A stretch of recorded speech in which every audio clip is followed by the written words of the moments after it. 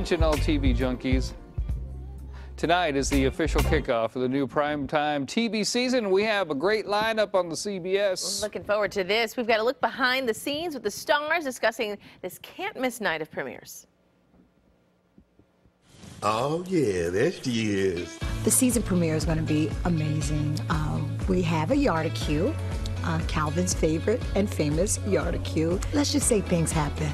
I'm the big dog around here. It's my neighborhood, my Yardicue. Isn't it our neighborhood? Couldn't it be our Yardicue? No. Monday nights is one of the great nights of television, and now to have another show partnered with us with another great comedian, Billy Gardell, I'm really excited about that. I think that just gives the whole night a boost. The Neighborhood is a good show, and I'm a huge fan of both Cedric and Max. I know Max well, and I know Cedric from the comedy world. Bob Hearts Abishola is an unexpected love story where two families from different worlds meet unexpectedly and hopefully fall in love with each other. I need to see the evidence. We're going to trial. All Rise being in the middle of Bob Hearts Abishola and such a beloved show like Bull is the perfect time slot.